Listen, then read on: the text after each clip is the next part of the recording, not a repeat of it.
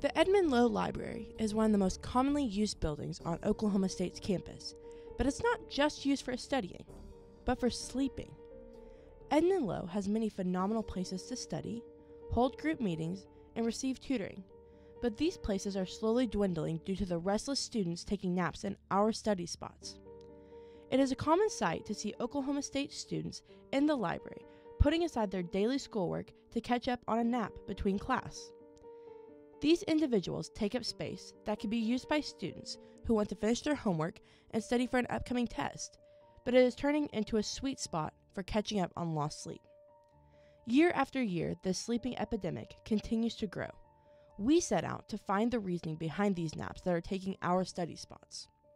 According to our research, 80% of the students we talked to have used the library to catch up on a quick nap, whether that's a few minutes in between classes or for multiple hours at a time. We interviewed a few students on what they thought about the sleeping epidemic sweeping through the Edmon Low Library. Zach Helms is a junior at Oklahoma State, pursuing a degree in political science with minors in Spanish and psychology. He believes that naps in the library are a must to succeed in school. So I live in Bennett Hall, which is like 20 minutes from campus, or at least it feels like as far as a walk is concerned. So since the library is kind of the central part on campus, and just come in here and, and take a quick nap. Usually I don't like stay the night here, but a quick nap is, is pretty solid for my schedule.